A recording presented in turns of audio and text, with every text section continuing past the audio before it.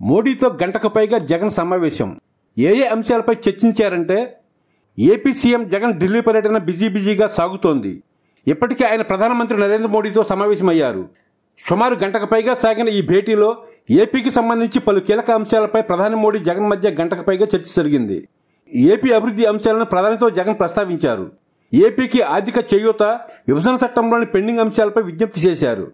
ప్రధానంగా రాష్ట్రానికి సంబంధించిన నిధులు పెండింగ్ సమస్యలతో పాటు రాజకీయ పరిణామాల గురించి కూడా ప్రధానికి జగన్ వివరించినట్లు తెలుస్తోంది. అలాగే రాష్ట్రపతి ఉపరాష్ట్రపతి ఎన్నికల్లో కూడా ప్రధానికి జగన్ స్పష్టమైన హామీ ఇచ్చినట్లు సమాచారం.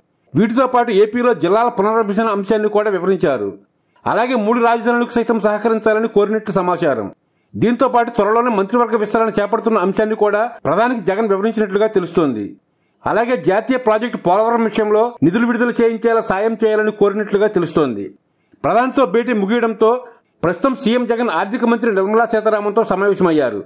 ఈ సమావేశం ముగిసిన తర్వాత కేంద్ర హోంమంత్రి అమిత్ షాతో కూడా సమావేశం కానున్నారు. ఈ సమావేశంలో ముఖ్యంగా రాజకీయ అంశాలపై చర్చించే అవకాశం ఉందని ప్రచారం జరుగుతోంది.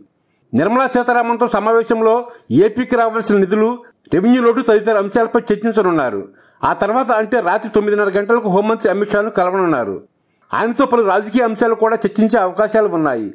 ముఖ్యంగా ఏపీ బీజేపీ నేతల తీరు పొత్తులపై చంద్రబాబు చేస్తున్న ప్రయత్నాలు పవన్ టీడీపీతో కలిసి వెళ్తారనే ఊహాగానాలపై చర్చించే అవకాశం ఉంది. అలాగే రేపు పలువురు కేంద్ర మంత్రులతో భేటీ కానున్నారు. ఏపీలో కొత్తగా పదమూడు మెడికల్ కాలేజీల ఏర్పాటుకు సహకరించాలని కోరే అవకాశం ఉంది.